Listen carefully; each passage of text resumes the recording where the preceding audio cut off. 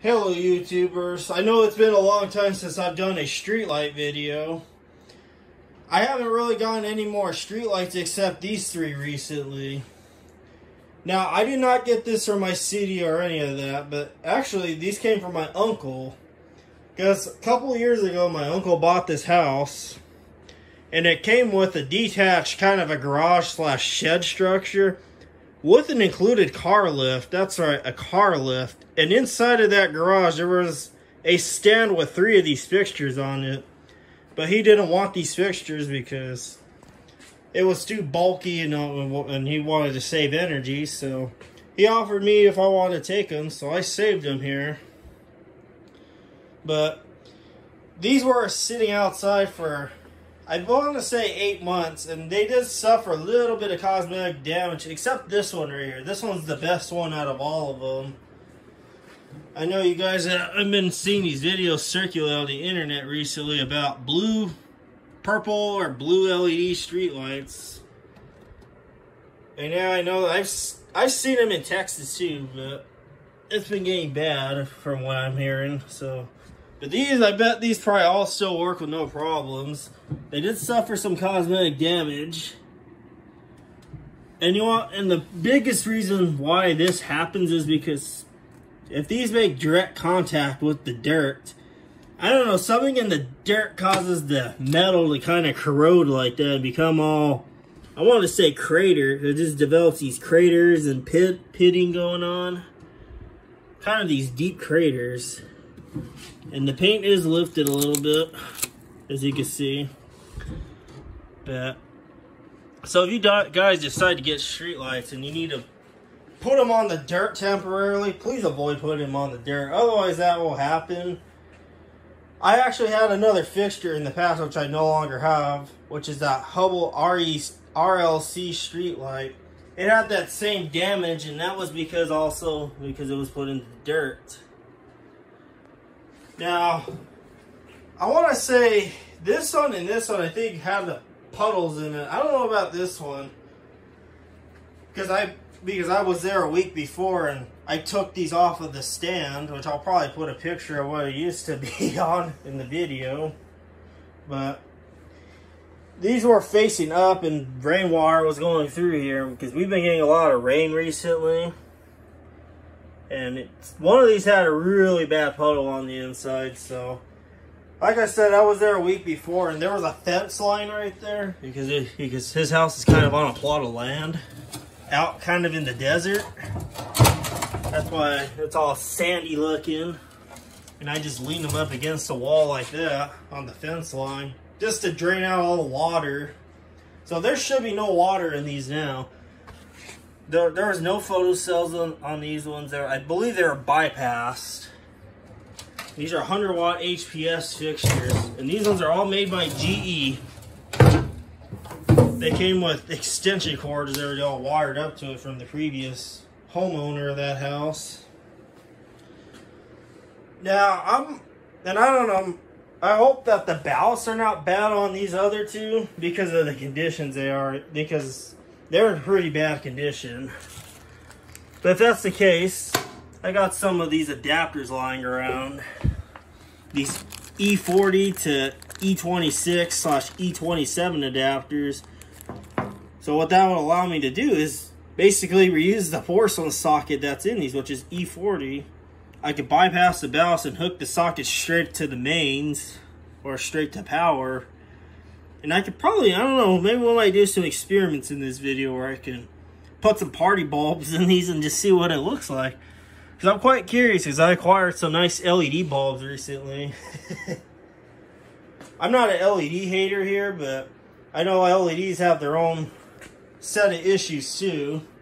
Nothing's perfect, but I know they're not as reliable as these fixtures. I am aware. Those of you enthusiasts that love HPS fixtures, mercury vapor fixtures, and whatnot.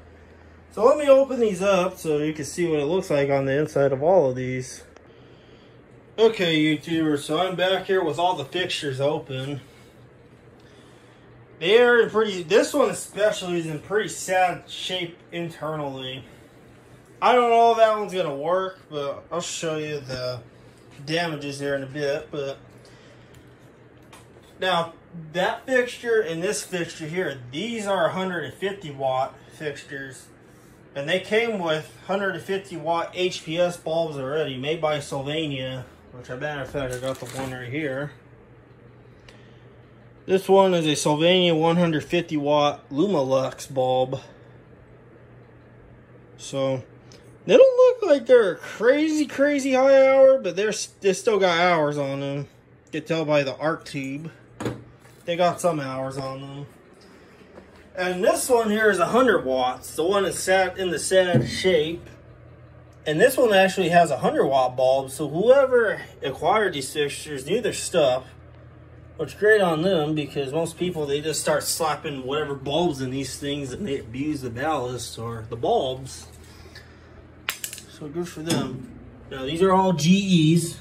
There's GE part number there in case you want to pause the video and look at that. And then this one here, get that wire out of the way so you can see. So, now this one, the ballast is in pretty bad shape. And I cannot emphasize enough about the dirt. This dirt is basically just dust. It's just sand.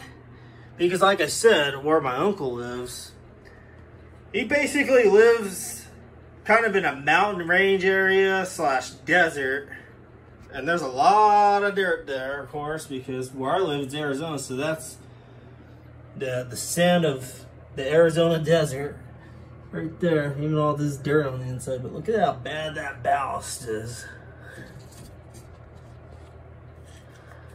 That ballast is in pretty sad shape. Look, look at the iron core. This, this iron core is turning into this dust as I'm like gently scraping this with a screwdriver.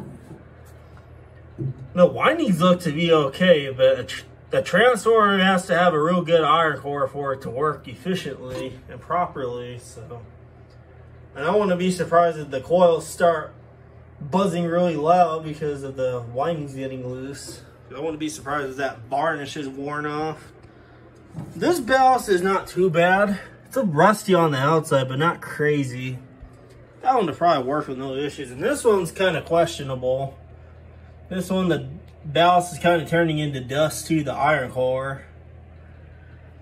The capacitors look to be okay. They're a little rusty, but that doesn't affect the capacitor really. As long as the electrolytes and stuff don't leak out and air gets on the inside. So those appear to be fine. My starting components look to be okay.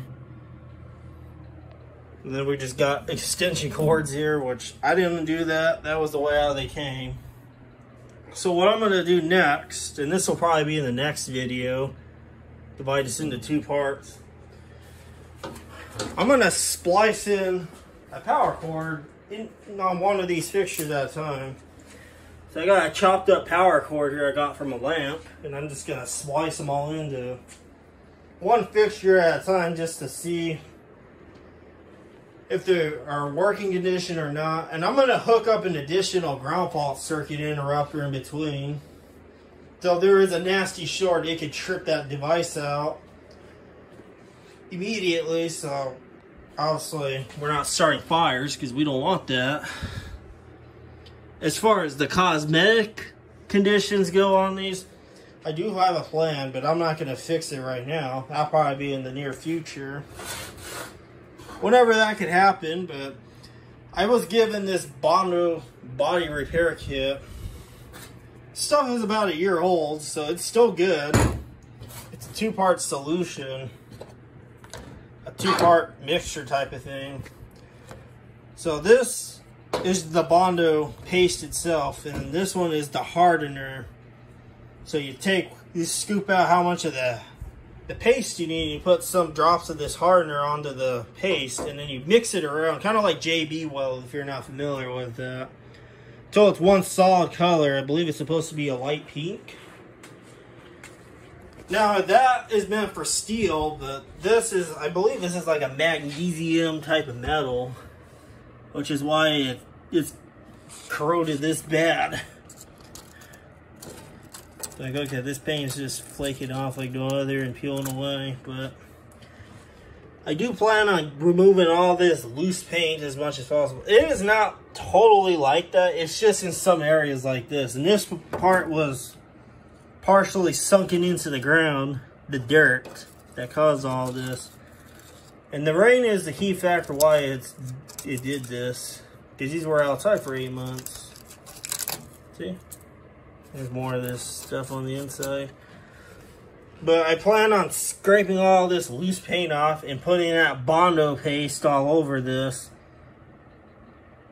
And then sanding it down and hopefully just, I it, and I know some of you lighting enthusiasts may not like this idea, but spray painting the back of the fixture to kind of hide all this, to kind of seal that Bondo into place. But I might end up giving one of these to a friend of mine that's into street lights. Oh, only if he's interested in it, but I for sure am going to keep that one. These other two, I don't know. I just hold on to them for right now, mess around with them. So, yeah, I'll, in the next video, I'll be testing these fixtures out, both with these Lumalux bulbs and then bypassing the ballast.